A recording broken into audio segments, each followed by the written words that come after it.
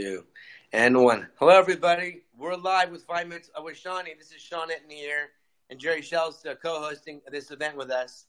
Good evening, everybody. Good afternoon and good evening. It is. Thank you, Jerry, for joining us. This is exciting. This topic. So, Mr. Sean, tell us what are we talking about today? We're actually talking about me driving for the first time post-stroke. They told me I wasn't going to walk, talk, ever drive again. Driving? And then I proved them wrong completely. You sure did. Yeah. How long after your stroke was this? Oh, it was probably about a good a good year and a half, actually, or two years. Okay, good. And what was it that you felt you needed to do to be able to do before you could take on driving? Well, that's a good question, Jerry. I wanted to, uh, to be able to be independent of my cane, my Hemi walker, or, or the wheelchair at the time, which I was independent of, uh, of all those for quite some time. But I really wanted to be able to walk at least 100 feet. I wanted to be able to walk around the car, open up the doors, and if I did drive, you know, I'd pull up to a parking lot. I want to be able to at least walk independently from my car into the store, into the grocery store, into the movie theater, and just being able to be independent, sturdy enough to do that. So that made yeah, it makes sense. It doesn't do any good to drive someplace and then not be able to walk anywhere or to manipulate, especially if you're alone or independent, want to be on your own, right? Of course, and then you know, learning to use the seatbelt. You know, I had to, I had to, I had to practice so many things that people just take for granted. How do you, you know, one-handed? How do you pull the seatbelt over, buckle the seatbelt in? You know, I learned how to use the, you know, the right and left, uh, the, um, you know, the right and left signs, the blinkers, and you know, I just had to get in the car and feel comfortable. And then I, I was able to do all that. And then, believe it or not, one day I thought to myself, hey, I'm going to get in the golf course with my dad. And I actually got into the golf cart, which is so funny. Instead of the squirrels and, and, and the gophers running from me, I, I actually had golfers running from me. I would imagine you did. Did they did they come after you with a club or anything, or I, start throwing golf balls at you? It's funny you said. I sure hope not. But I learned actually to drive in a golf cart. You know, my brain had to get rewired rebooted, took, took everything out of me. It was exhausting, but I just had to do it because I didn't know my left from my right, Jerry. Believe it or not.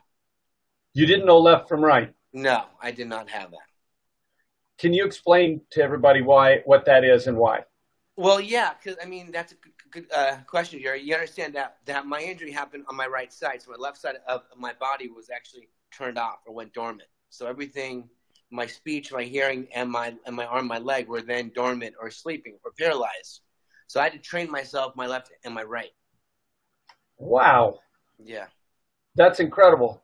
And so because your your our normal brain patterns kind of decide which is right and left, so you had to rework all of that.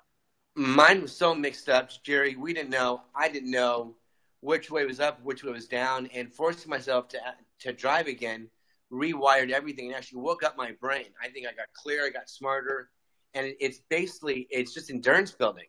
It's it's like it's like running a marathon. I just had to start somewhere, and I got into a golf cart, started just driving using the accelerator, the brake, because I didn't know things weren't things didn't come to me. But as I did it more and more, everything just just woke up.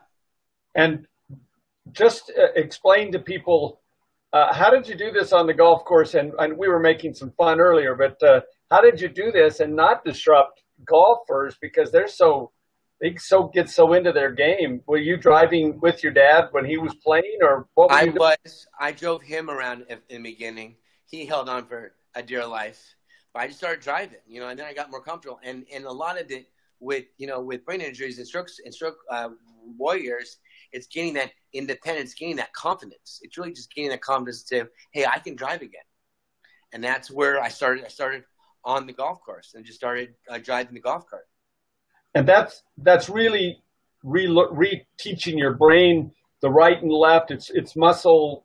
Uh, what do you call it? Memory. Muscle memory, and and it's retracting all that stuff in your brain to make it work. Is that kind of how it happened?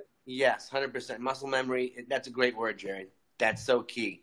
That actually what actually woke me up, and I got I felt I got I got actually smarter in time, and my endurance jet just came back because the first time I drove on the golf course, a couple of minutes, I was exhausted, I was wiped out, I was ready to go to sleep. Wow. Yeah. Amazing. Well, this this is a, a, a, great starting point. You've given us a you've gotten us kind of halfway to the actual driver's seat. So that's uh, why we broke this into two sessions to have two well, sessions. Yeah, there's a lot. It's Going to be part two. Yeah, there's a lot more I'll cover on the next show because I think the driving part is at least two of these shows, of course. Absolutely, absolutely. So tell everybody where to go to how to how to contact you there. Uh, they, can, they can um, if they click on the Bitly link, they can connect us with the SeanEntin.com. They can connect with me, you know, through an email through there through the contact page. And what I recommend everybody do, just please, your warriors out there, this is a community for all of us. This is not just about me. It's about everyone who's recovering from something, you know, a brain injury, a stroke. You all, and we all know people who've gone through this. So this is about us as a team really educating ourselves. I wish I would have had a me in the beginning because it would have been so much easier in a sense because I didn't have any. No one, no one gave me any guidance or taught me all this stuff. So, amen. We're, we're here every day just to teach all you, and, and I want to hear your comments. If you have a driving story, share it with me. Email us. I want to have you guys on the show, and this is about you know not about why me, but about what's next. And right, and Sean. Let me just say that if you, folks, if you look in the the information section, the introduction to this video, you'll see a Bitly link there. Just click on it, takes you right to the Connect page on Sean's page, and there's a comments area, and you can leave your story, you can tell about your driving, you can tell anything you want, or just ask Sean a question. We'd love to hear from you, so please do that. Thank you. Yes, and then share this with everybody. Please share these five minutes with Seany, with your community, and with your loved ones. We're gonna, we're here to help you. And we'll be back tomorrow with part two part of Learning to Drive. Thanks, Sean. Thanks, Jerry. You take care, brother. You bet. Bye bye.